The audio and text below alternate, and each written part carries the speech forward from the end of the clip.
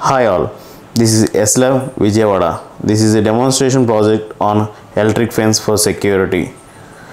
The whole setup was built on 25 into 25. For this setup, we have arranged bare wires around the system as a fence. The fence was hooked with a high voltage power supply. If someone tries to reach the area without permission, there will be a small electric shock. Let's see how the shock will be there. We are shorting the terminals, then we can find that there is a shock.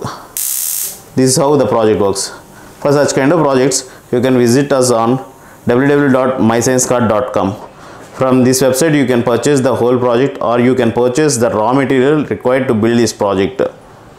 To build this project, you can visit www.mysciencetube.com. In this website, you will be getting the full-fledged making video of this project, the circuit diagram, sketch and all.